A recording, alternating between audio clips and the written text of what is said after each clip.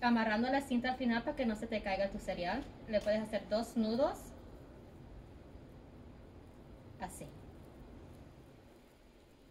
Mira, así para que no se te caiga tu cereal. Después, lo que quiero que tú hagas es que saques el cereal del vaso. El cereal tiene un hoyito en medio.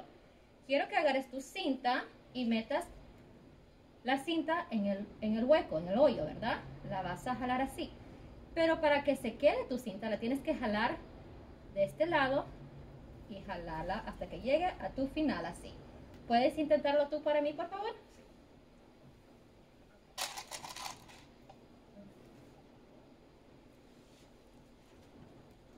Buen trabajo, así mismo. High five.